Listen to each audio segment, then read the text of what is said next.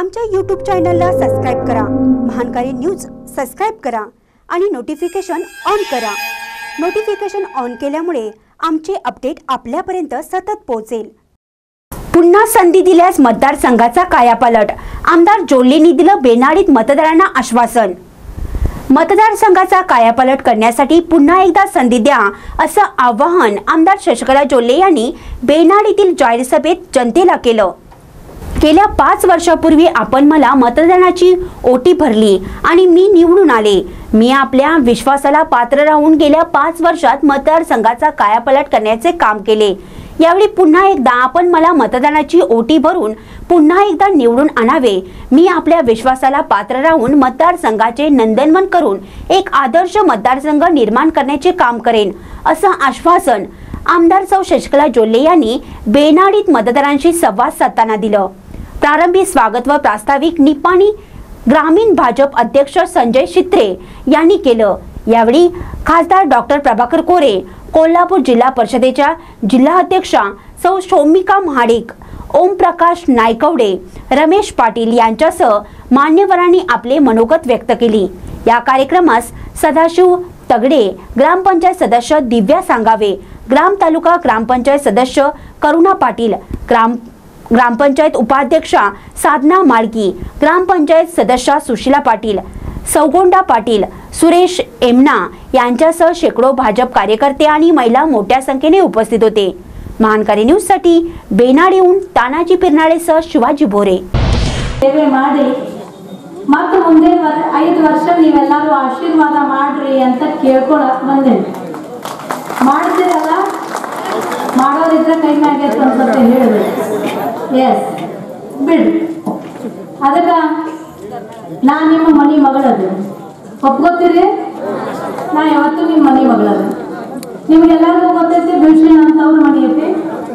ಆದ್ರೆ ಯಾವತ್ತೂ ನನ್ನ ಮನಿ ಅಷ್ಟೇ ನನ್ನ ಮನಿ ಅನ್ನಲಿಲ್ಲ ನನ್ನ ಇಡೀ ನಿಪ್ಪಾಣಿ ಕ್ಷೇತ್ರ ನನ್ನ ಮನಿ ಅಂತ ತಿಳ್ಕೊಂಡಿದ್ದೆ. ಎರಡು ಸಾವಿರದ ಎಂಟಲ್ಲಿ ಈ ಭಾಗದಲ್ಲಿ ನಾನು ಬಿಜೆಪಿ ಅಭ್ಯರ್ಥಿಯಾಗಿ ಬಿಜೆಪಿ ಅಭ್ಯರ್ಥಿಯಾಗಿ ನಾನು ಕಣಕ್ಕಿಳಿದೆ. ಅವತ್ತು ನಾನು ಯಾರು ಅಂತ ನಿಮಗೆ ಗೊತ್ತಿರ್ಲಿಲ್ಲ, ನೀವು ಯಾರು ಅಂತ ನನಗೆ ಗೊತ್ತಿರಲಿಲ್ಲ. ಆದ್ರ ಸ್ವಲ್ಪ ಮತಾಧಿಕ್ಯದಿಂದ ನಾನು ಅವತ್ತು ಸೋಲನ್ನ ಅನುಭವಿಸ್ಬೇಕಾಯ್ತು. ಇನ್ನೊಂದ್ಸಲ ಎಕ್ಸಂಬಾದಿಂದ ಬಂದಾರ ಇವರು. ಮತ್ತೆ ಹೊಳ್ಳೆ ಎಕ್ಸಂಬಕ್ಕೆ ಹೋಗ್ತಾರೋ, ಇವರೇ ಇಲ್ಲಿ ನಿಂದ್ರವ್ರು ಅದಾರು ಅಂತ ಅಂತಿದ್ರು. ಆದ್ರೆ ಯಾವತ್ತು ಸೋತೆ ಅದ ದಿನ ಸಂಕಲ್ಪ ಮಾಡಿದೆ, ನಾನು ಮತ್ತೆ ಹೊಳ್ಳಿ ಎಕ್ಸಂಬಕ್ಕೆ ಹೋಗೋದಿಲ್ಲ. ನಿಪ್ಪಾಣಾಗ ನಿಂದಿರ್ತೇನೆ ಇಲ್ಲೇ ಸೇವೆ ಮಾಡ್ತೇನೆ, ನಿಮ್ಮೆಲ್ಲರ ಮನಸ್ಸು ಗೆಲ್ತೀನಿ, ಮತ್ತೆ ಎರಡ್ ಸಾವಿರದ ಹದಿಮೂರೊಳಗ ಎಂ ಎಲ್ ಎ ಆಗ್ತೇನೆ ಅಂತಕ್ಕಂಥ ಹಾನಿ ಮಾಡಿದ್ರು ಅದೇ ರೀತಿ ಎರಡ್ ಸಾವಿರದ ಎಂಟರಿಂದ ಎರಡ್ ಸಾವಿರದ ಹದಿಮೂರೊಳಗೆ ನಿಮಗೆ ಎಲ್ಲರಿಗೂ ಗೊತ್ತದ, ಕರ್ನಾಟಕ ರಾಜ್ಯದಲ್ಲಿ ಭಾರತೀಯ ಜನತಾ ಪಕ್ಷದ ಅಧಿಕಾರ ಇತ್ತು ಯಡಿಯೂರಪ್ಪಾಜಿಯವರು ಮುಖ್ಯಮಂತ್ರಿ ಇದ್ರು. ಆದ್ರೆ ನಾನು ನಮ್ಮ ದುರ್ದೈವ, ನಾನು ಎಂ ಎಲ್ ಎ ಇರಲಿಲ್ಲ. ಯಾವುದೇ ಸರ್ಕಾರ ನಮ್ದಿದ್ರು ಕೂಡ ಸರ್ಕಾರದ ಕೆಲಸಗಳನ್ನ ನಿಮ್ ತನಕ ಆದರೆ ಆದ್ರೆ ನಾನು ಒಂದು ಸಂಕಲ್ಪ ಮಾಡಿದೆ, ಸರ್ಕಾರದಿಂದ ಆಗದೆ ಇದ್ರೆ ಏನಾಯ್ತು? ನಾವು ನಮ್ಮ ಜೊಲ್ಲೆ ಉದ್ಯೋಗ ಸಮೂಹದಿಂದ ಈ ಕೆಲಸ ಮಾಡಬೇಕು.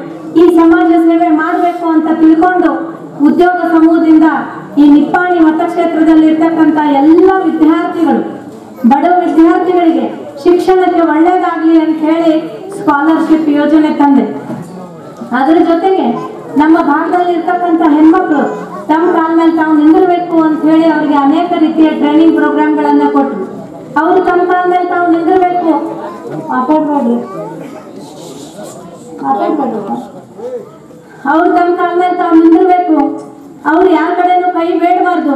ಅವರು ಕೂಡ ಕೆಲವೊಂದು ಉದ್ಯೋಗ ಅವಕಾಶಗಳನ್ನ ಮಾಡಬೇಕು ಅಂತ ಹೇಳಿ ನಮ್ಮ ಸಂಸ್ಥೆ ಮುಖಾಂತರ ಸಾಲ ಕೊಡುವಂತ ಯೋಜನೆಯನ್ನ ಮಾಡಿದ್ವಿ. ಈ ರೀತಿಯಾಗಿ ಸೋತ್ರು ಕೂಡ ಯಾರು ಗೆದ್ದವರು ಯಾವಾಗ್ಲೂ ಎಂ ಎಲ್ ಎ ನಿಮ್ ಬರ್ತಿದ್ರು ಆದ್ರೆ ನಾನು ಸೋತ್ರು ಕೂಡ ಐದು ವರ್ಷದಲ್ಲಿ ನಿಮ್ಮ ಸಂಪರ್ಕದಲ್ಲಿದ್ದೆ. ಇಂತಹ ಸಣ್ಣ ಪುಟ್ಟ ಸೇವೆಗಳನ್ನ ಮಾಡೋದ್ರ ಮುಖಾಂತರ ನಾನು ನಿಮ್ಮ ಮನಸ್ಸು ಗೆದ್ದೆ.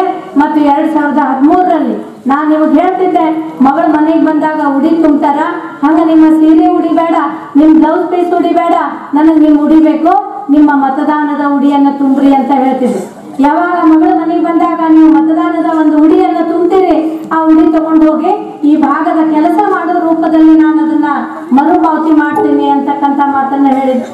ಅದೇ ರೀತಿ ದೋನ್ ಹಜಾರ್ ನೀವೆಲ್ಲರೂ ಹಿಂಗ ಆಶೀರ್ವಾದ ಮಾಡಿದ್ರಲ್ಲ? ಇಷ್ಟು ಉಡಿ ತುಂಬಿದ್ರಲ್ಲ?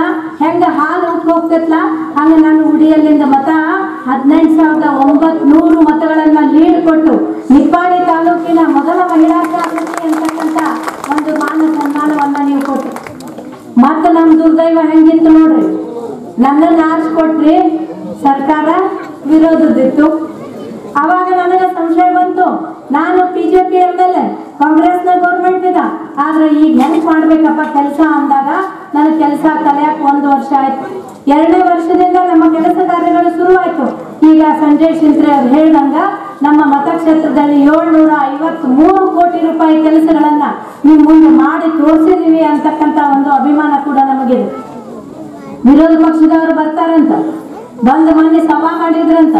ಹೇಳಿದ್ರಂತ ನಮ್ಮ ಸರ್ಕಾರ ಐತಿ ಮತ್ತೆ ನಮ್ಮ ಸರ್ಕಾರ ಕೊಟ್ಟಿತ್ತು ಅಂತ ಹೇಳಿ ಇವ್ರು ಏಳ್ನೂರ ಐವತ್ಮೂರು ಕೋಟಿ ಇಲ್ಲಿ ತಂದ್ರು ಅಂತ ಹೇಳಿದ್ರಂತ विरोध पक्षवाले बोलले म्हणे आपलं सरकार आहे आणि विरोधाचा आमदार आहे आपलं सरकार दिलं म्हणून हिने निधी आणला म्हणून सांगितलं म्हणे परंतु आपण सगळं जागृत व्हायचं आहे वरती केंद्रामध्ये माझं सरकार आहे वरती केंद्रामध्ये बीजेपी सरकार आहे वरती केंद्रामध्ये नरेंद्र मोदीजी आहेत त्यांनी जी इथं निधी दिला म्हणून ह्याने आम्हाला दिलं काय उपकारला याने दिलेलं नाही माझ्या सरकारनं मला दिलेलं आहे आपण सर्वांनी लक्षात ठेवायचं आहे.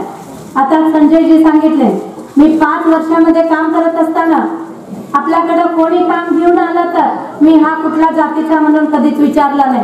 हा कुठल्या पक्षाचा आहे म्हणून मी कधीच विचारला नाही. हा महिला आहे का हा पुरुष आहे म्हणून मी कधीच विचारलं नाही. जेव्हा जेव्हा जे जे लोक माझ्यापर्यंत आले मी ह्या भागाचे एक आमदार म्हणून मी ह्या भागाचा एक जनप्रतिनिधी म्हणून ह्या भागाची एक मुलगी म्हणून मी कधीही ईर्ष्याचं राजकारण केलं नाही.